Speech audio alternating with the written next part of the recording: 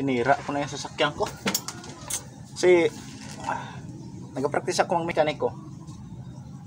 Sinira ko tuloy yung sasakyan ko. Pinatanggal ko yung mga radiator. Eh, bago ko, ano, may pairang ko muna ito. Para malinis-linisan din ang kunti. So, paano dami? Alikabok dito sa loob pala. Wait. Ganito lang itong sakyan natin.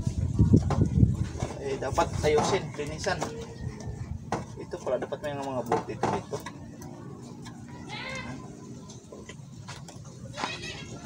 Para hindi nag ano. Ah, dapat pala may mga bolt yan dyan. Magalaw eh.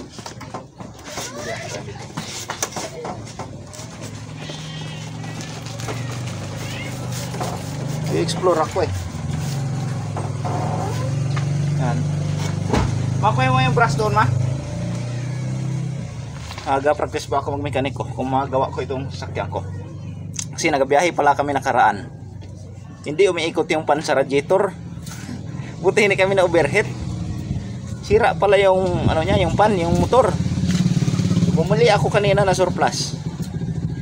Sinubukan kong tanggalin tapos ikabit ulit. Eh, kung magawa ko. Pag hindi, ah, tawag tayo ng mekaniko. So mamaya, balikan ko kayo kung naayos na.